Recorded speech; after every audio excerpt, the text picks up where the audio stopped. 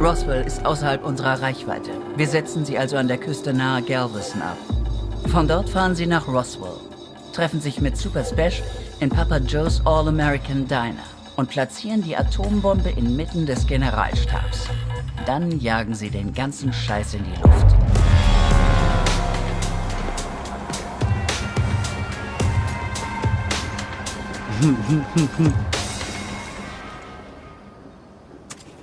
Ja, der Okay, unscheinbare Blazkowicz. Suchen Sie Feuerlöscher. nach Papa Joe's All-American Diner.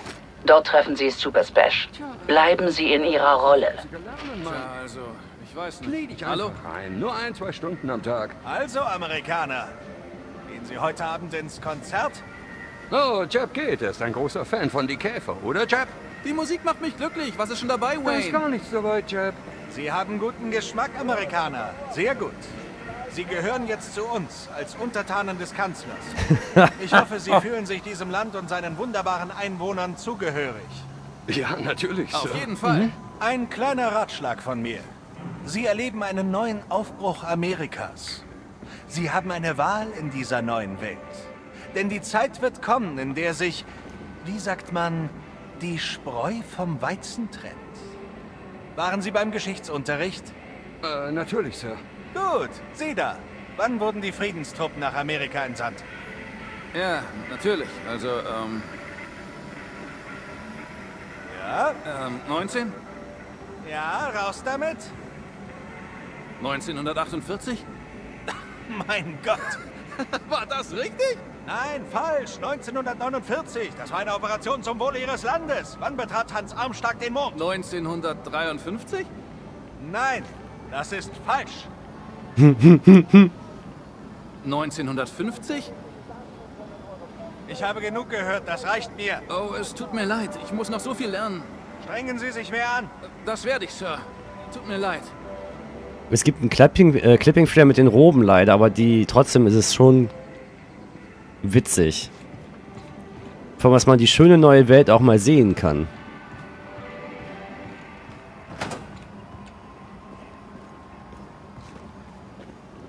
Ah, jetzt ist der aber bei ihm jedenfalls weg, aber bei ihm hängt die immer noch so halb rüber.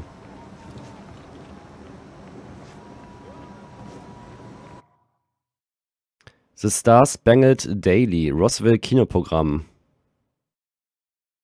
Zeit für den Wandel. Ein herzzerreißender Film über einen gewöhnlichen Verkäufer in einem Gemischtwarenladen, der dafür kämpft, seine Landsleute von den Überlebensnotwendigkeit des Wandels zu überzeugen.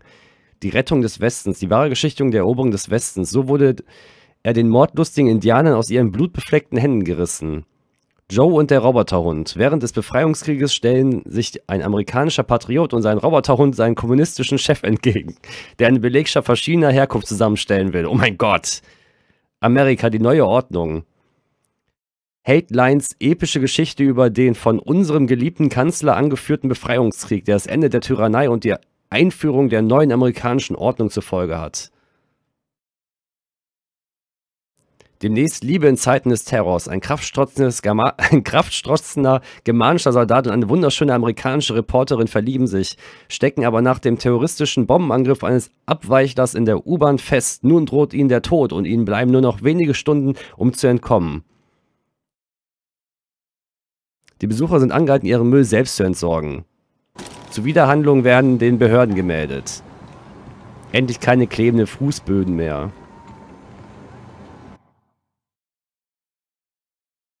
Germanische Medien die ehrlichsten in der Geschichte. Anteil der Lügenpropaganda von den amerikanischen Zeitungen sind auf 0% gefallen. Fake News Probleme. Oh Mann. Haben die nur das? Das Zeug kann man doch nicht trinken. Was für eine Plörre. Ach, scheiß drauf.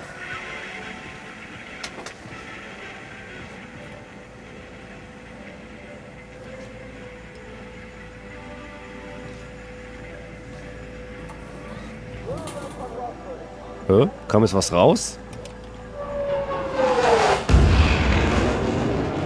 Moment. Die waren, die waren so... Boah!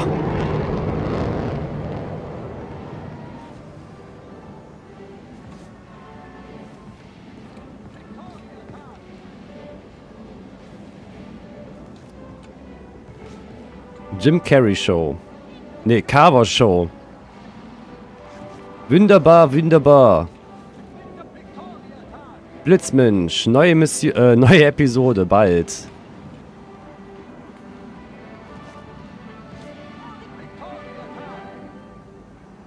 Diesel-Movie, coming soon.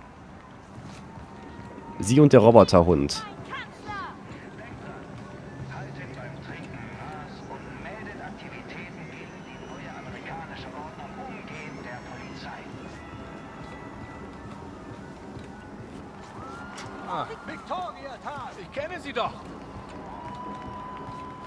War gestern mit Mary Jane im Kino. Mann, der Film war richtig dufte. Der Kanzler hat Hollywood wirklich von dem ganzen verdorbenen Mist befreit, der früher immer lief. Jetzt ist alles viel besser. Und der Film ist der absolute Buller. Mach dich auf was gefasst. Was brauchen die so lange? Warum machen die nicht auf? Hey, schauen wir ihn uns doch am Samstag an. Wie wär's? Du bringst Mary Jane mit und ich komme mit Mandy. Äh, vielleicht nächstes Wochenende. Dieses Wochenende habe ich Geschichtsunterricht. 1951, nicht vergessen.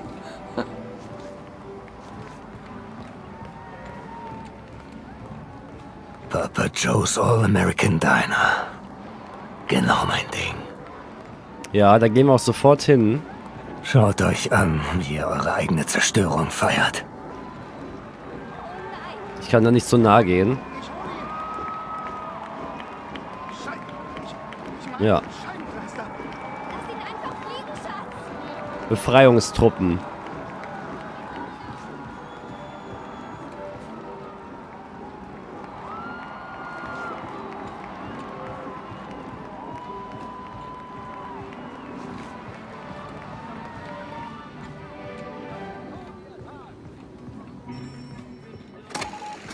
Hast du denn heute gelernt, Peter? Keine Ahnung. Sachen? Die neue Regierung lehrt dich wichtige Dinge, Peter. Was denn für Sachen? Dass der Kanzler ein großer Autor und Maler ist. Sehr gut, mein Junge. Bobby meinte, der Kanzler hätte die Mona Lisa gemalt und die Atombombe gebaut. Dann hatte mein Kopf in die Toilette gesteckt und gespült. Das ist ja schrecklich. Man sollte diesem Bobby Manieren beibringen. Aber seine Mutter wird das bestimmt nicht tun. Du musst mir versprechen, dass du dich von ihm fernhältst. Hörst du, Peter? Jetzt such dir was von der Karte aus. Hätte doch die Geheimpolizei die Hilfskraft nicht abgeholt. Wann kriegen wir endlich wieder hausgemachtes Essen? Mama, kann ich das Chili haben? Natürlich. Juhu! Wenn wir hier überhaupt irgendwann bedient werden. Bing, bing. Immer mit der Ruhe.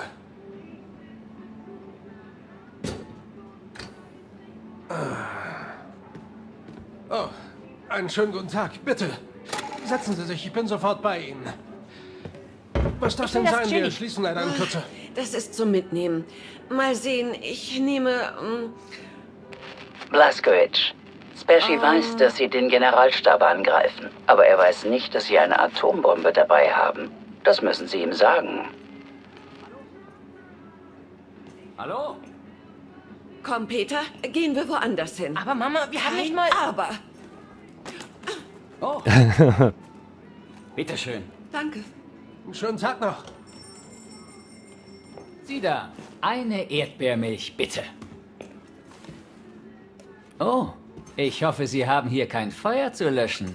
Sonst komme ich ein andermal wieder. Das Feuer kann auf jeden Fall warten, Kommandant. Eine Erdbeermilch, kommt sofort. Feuerwehrmann, Sie kommen mir irgendwie bekannt vor. Und Sie sehen germanisch aus. Arbeiten Sie in Wache 2? Bitte schön, Kommandant. Oh, vielen Dank. Bestimmt.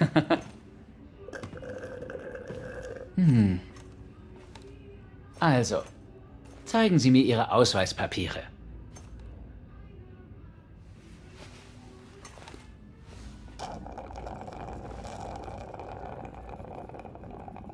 Mm, mm. Erdbeermilch, lecker. Das schmeckt mir in Amerika am besten. So einfach. Nur Milch und Eiscreme. Um den Rest der Karte werden Sie sich aber noch kümmern müssen. Ich glaube, sie sollte germanischer sein, ja? Ja!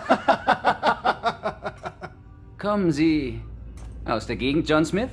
Hm? Ich lese hier, dass Sie in Wache 6 arbeiten. Wo ist die denn überhaupt? Diese Wache ist mir gar nicht bekannt. Reden Sie.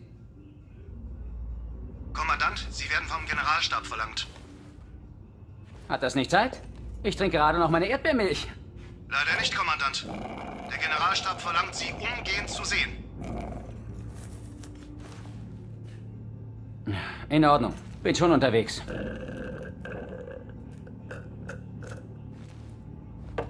Hm. Hm. Hm. Grundgütiger. Großer Gott. Sie sind das... Blaskowitz, machen Sie die verdammte Tür zu! Bevor...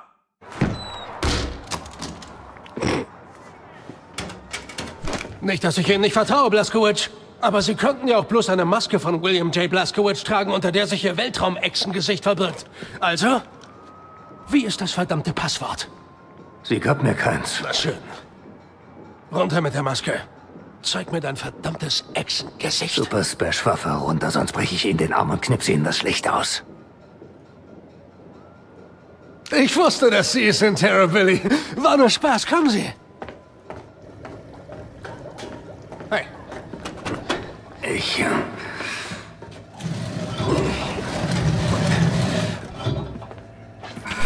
So, äh, willkommen in der Bodenkontrolle. Bin noch nicht dazu gekommen, hier ein wenig aufzuräumen. Das tut mir leid, dass, äh... Oh. Der Scheiß hier ist echt gut. Das schirmt die Signale ab. Sehr effektiv gegen außerirdische Gedankenkontrolle. Wie geht's Grace? gut. Die kleine Abby? Absolut bestens. Mann, ich vermisse sie. Selbst, dass sie mir ins Gesicht pinkelt. Das vielleicht sogar am meisten. Kleine Stinkerin. Was machen Sie hier überhaupt, Super Spash? Das hier? Mein Vater und ich haben hier alle Hinweise auf die Vertuschungen der Regierung gesammelt. Keks? Ähm, nein. Äh, Okay. Ist schon mehr als zehn Jahre her. Im Sommer 47. Hab in dem Jahr aufgehört, als Anwalt zu arbeiten. Und bin zur Schwarzen Revolutionsfront gegangen, nachdem ich dafür gesorgt habe, dass die falsche Mordanklage der FBI-Schweine gegen Grace fallen gelassen wurde. Damals hörte mein Vater den Polizeifunk und brachte mich nach Norden zur Murphy Ranch, wo wir dieses abgestürzte fliegende Untertassending fanden. Kurz danach stürmte das verdammte US-Militär rein und riegelte den gesamten Bereich ab. Irgend so ein Bullshit über einen Wetterballon. Alles nur Lügen. Denn wir waren schneller und hatten eindeutige Beweise. Hier, schauen Sie mal. Das Schätzchen hier habe ich von der Absturzstelle. Glauben Sie, das kommt von einem Wetterballon? Hier haben wir alles aufgezeichnet und überwacht, was das Militär im Schilde führt. Gebaut hat das hier mein Vater. Sie denken also, das war ein Raumschiff. Ich sag ja nicht, dass es eine fliegende Untertasse aus dem All war. Aber es war auf jeden Fall nicht von dieser Welt. Wenn Sie mich verstehen. Es, es ist alles miteinander verbunden. Wenn Sie der Kausalkette folgen, finden Sie am Ende diese geheime unterirdische Anlage zehn Kilometer östlich von Roswell bei Bottomless Lakes, Area 52. Dort hat die Regierung eine fliegende Untertasse abgefangen und die Leichen und die Technologie unterirdisch eingelagert. Alle waren beteiligt. Die FBI-Schweine, die Militärschweine, selbst das Präsidentenschwein höchstpersönlich. Schauen Sie doch. Hä? Area 52, Area 51, hier drüben Area 56. Überall im Südwesten. Nevada, New Mexico, alles ein gigantischer Komplex, verbunden durch unterirdische Zugtunnel. Ich... Hier sehen Sie die Bilder an. Plasmawaffen, Gedankenkontrolle, Antigravitation.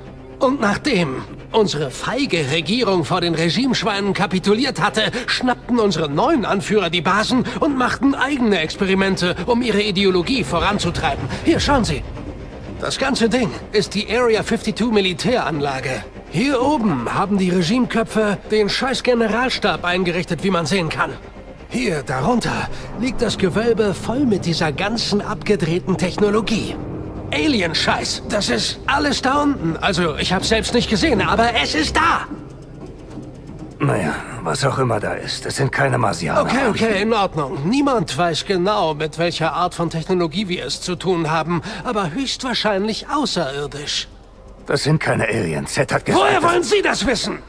Sind Sie, sind Sie jetzt ein Scheißexperte für Außerirdische? Nun, ich war verdammt lang Anwalt. Und ich weiß, wie gottverdammte Verschwörungen aussehen. Also, ich will ja nicht sagen, dass es Außerirdische sind, aber es sind verdammt nochmal ohne Zweifel Außerirdische! Also, in diesem Feuerlöscher habe ich eine Atombombe. Okay. Ganz ruhig. Wollte Sie nicht verärgern. Grace meinte, Sie kennen einen Weg in den Generalstab. Bringen Sie mich rein, dann springe ich mit dieser Bombe die Führungsriege des Regimes in. Tausend Stöcke. Ja! Ja, na klar. Das klingt so gut. Ich helfe Ihnen. Mein Vater hat diese Tunnel zum unterirdischen Zugsystem gegraben, das all diese Geheimbasen verbindet. Der hier führt bis zur Area 52 Güterzugverladungshalle. Perfekt. Also, packen Sie die Bombe in diesen Rucksack. Sie brauchen Ihre Hände zum Schießen. Okay. Viele Regimesoldaten da unten. Und andere Dinge. Also, ich bleibe per Funk in Kontakt und helfe Ihnen. Hey, viel Glück, Blaskowitz. Die sind alle so im Eimer, aber es ist einfach so geil.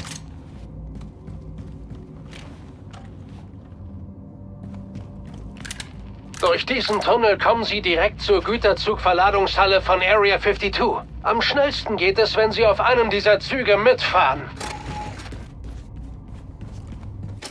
Entführe den Güterzug.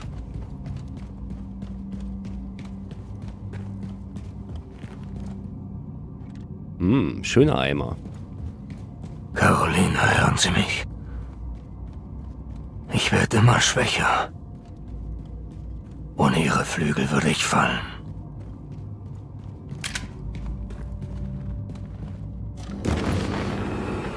Wow. Haben die jetzt etwa raketenbetriebene Züge? Sieht so aus.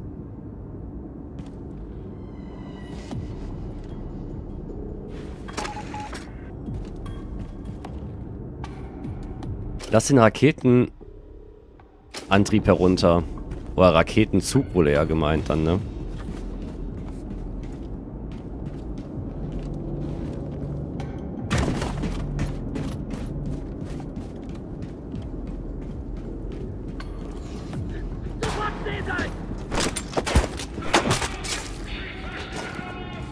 Na toll.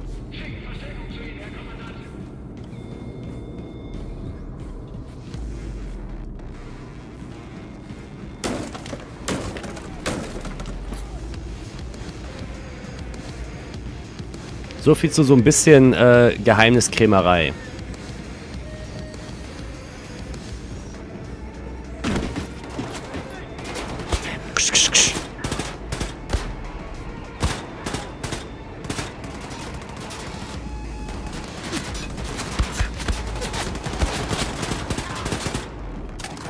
Könnt ihr nicht alle mal ein bisschen Deckung gehen? Ach, ist auch besser, wenn man nochmal von vorne. Dann erschieße ich den halt mit Schalldämpfer auf Distanz.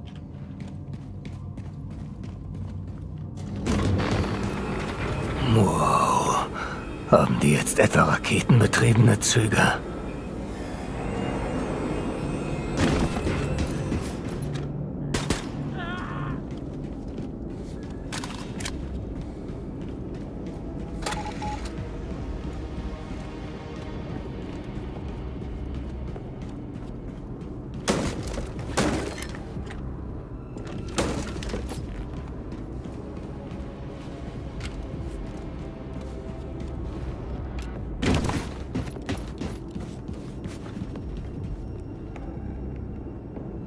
Robotertechnik. Achtung.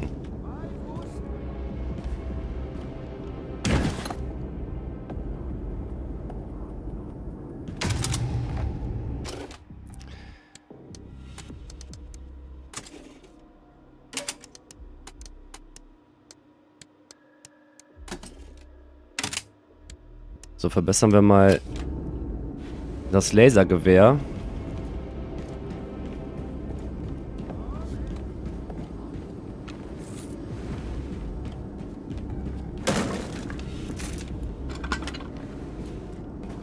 Naja, das wird nicht sehr leise sein, wenn ich damit jetzt rumballer.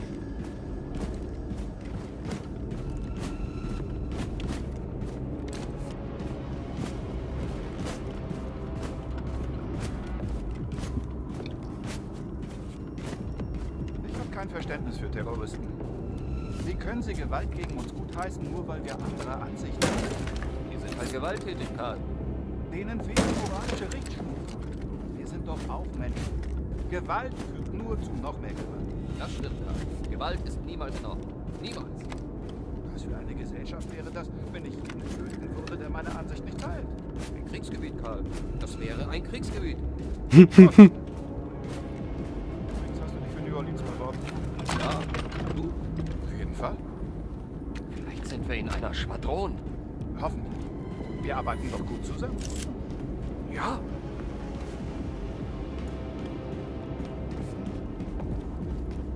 Also echt kahl.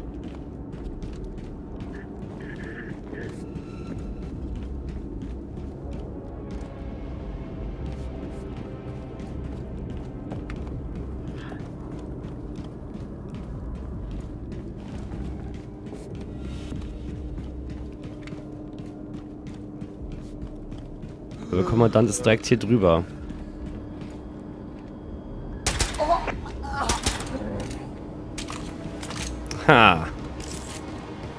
Viel dazu.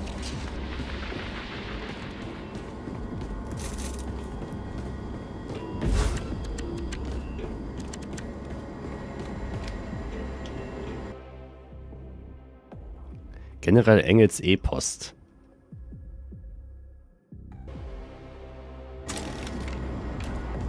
Wenn das Ding jetzt aktiviere,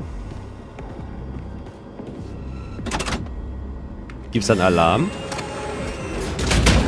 Oh, was ist das denn?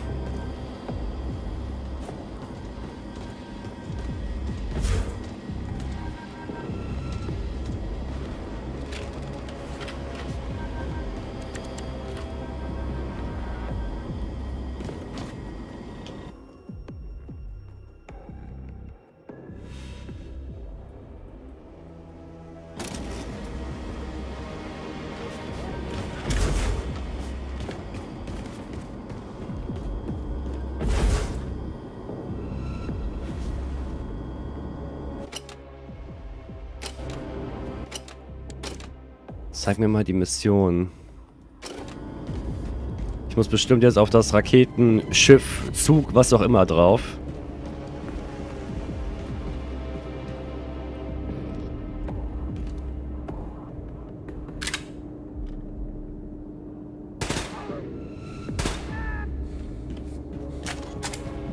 Schrei doch nicht so laut.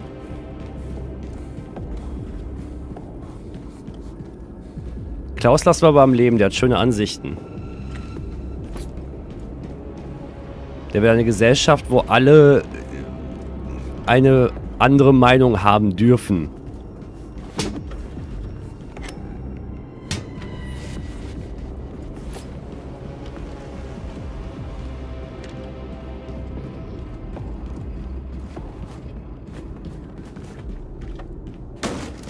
Also ich hoffe, wir können Klaus am Leben lassen.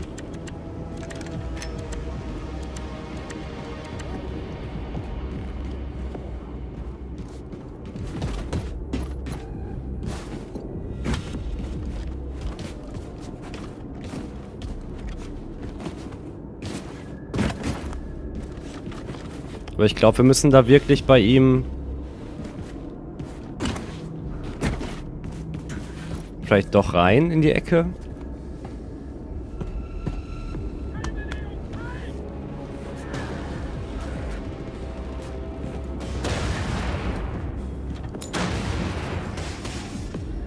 Kämpft ihr gegen mich oder gegen euch selbst?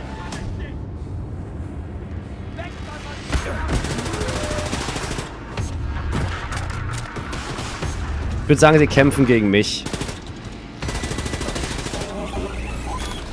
Was sind irgendwelche Roboter, die hier rumrennen? T1000.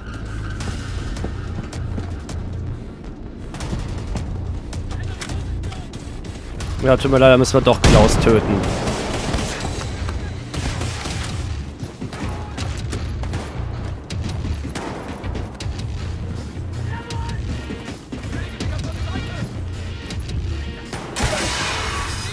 Oh mein Gott.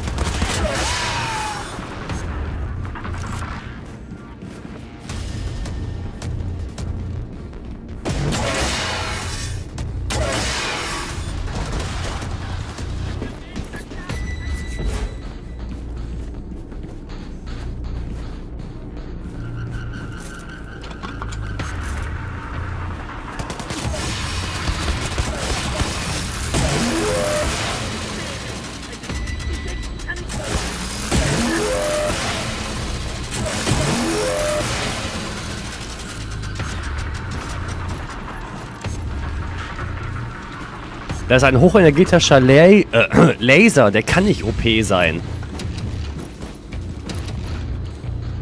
Wenn du nicht gepanzert bist, was, womit willst du den auffighten? Dafür wurde unsere Haut nicht konzipiert.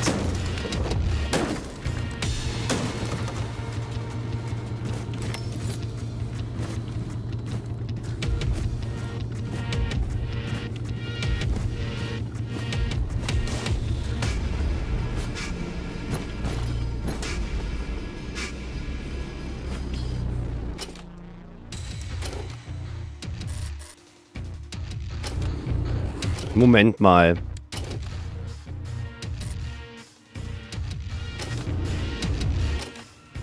Willst du mir mit den Pins sagen, äh, sagen, da ist noch irgendwas?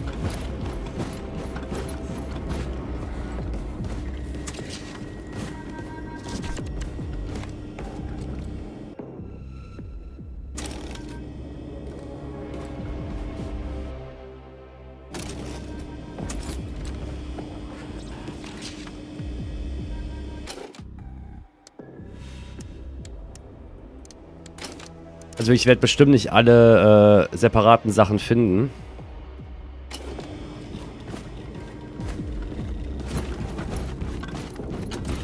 Ich versuche aber so das eine oder andere zu holen. So.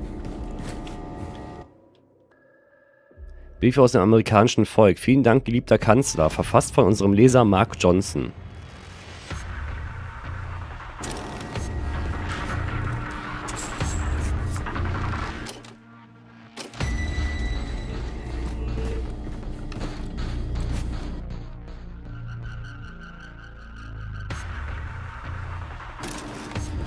Und um es nochmal zu erwähnen, ich, ähm... Ach, man findet auch wieder Schallplatten.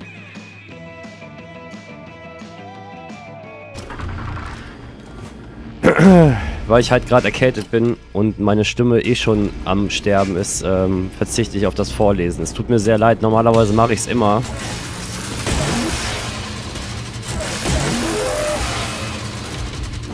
Aber es geht einfach aus gesundheitlichen Gründen gerade nicht. Dann mal rein und ab dafür, alter Mann. An welche Stelle muss man denn hier einsteigen? Ah, da.